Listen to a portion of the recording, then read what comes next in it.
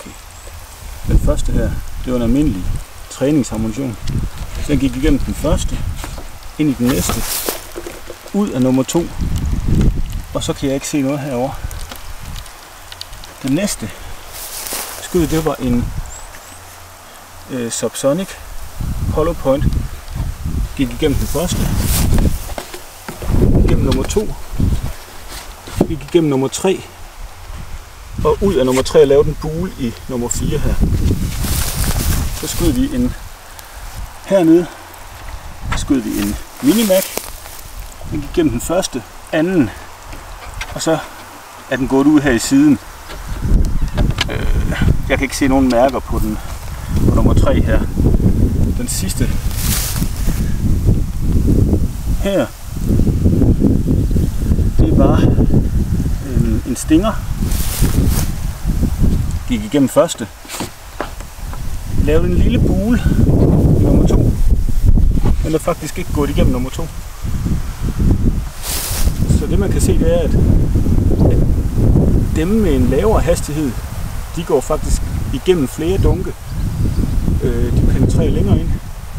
Men det er jo selvfølgelig fordi, de, dem med en høj hastighed, de øh, nærmest øh, de svulmer op og afsætter en masse energi i den første dunk, som man også kan se sætter lige dem.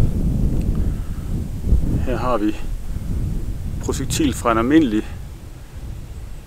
øh, hollow, eller hvad hedder det, en almindelig rundnæsset træningsammunition, matchammunition. Den var fundet i dunk nummer 3, hvor den næsten, den var faktisk, den har lavet et udgangshul, men var blevet smidt ind i, i dunken igen. Så den penetrerede tre dunke med vand. I nummer to dunk, der fandt jeg den her, og jeg kan se, den her, det er, der er noget koverkappe på, så jeg tror, det er noget fra Minimac'en, eller hvad hedder den, øh, eller Stingeren. En af de to. Der er lige en lille klump bly og lidt. Dunk nummer, nummer et, der det eneste, jeg fandt, det var et lille stykke kappe her. Igen noget fra en af de fuldkappe, enten Stingeren eller, eller minimacken. Nu vil jeg lige tage et, øh, et enkelt skud med, med havlgeværet på de der vanddunke der, bare for at sammenligne det. Sådan ganske almindelig øh, kaliber 12 havlgevær, hvor, hvordan energien er, hvis man skyder fra tæt hold.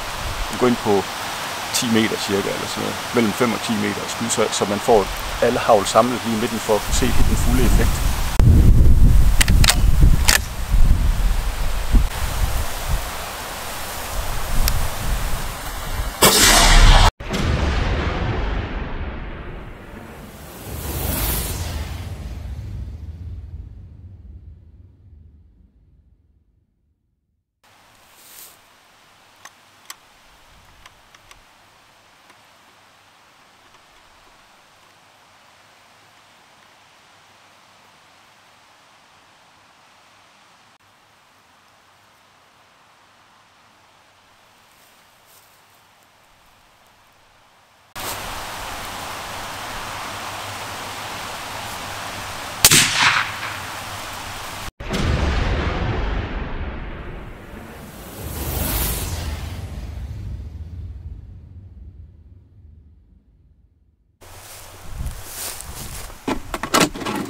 Første dunk.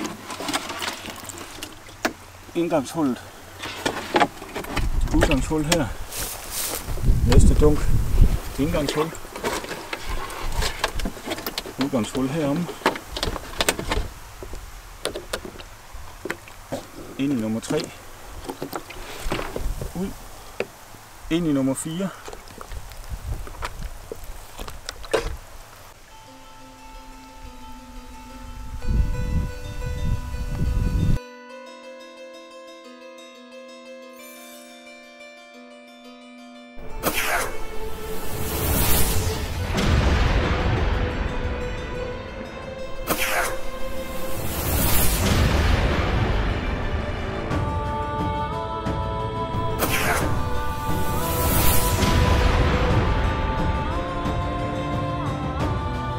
Yeah.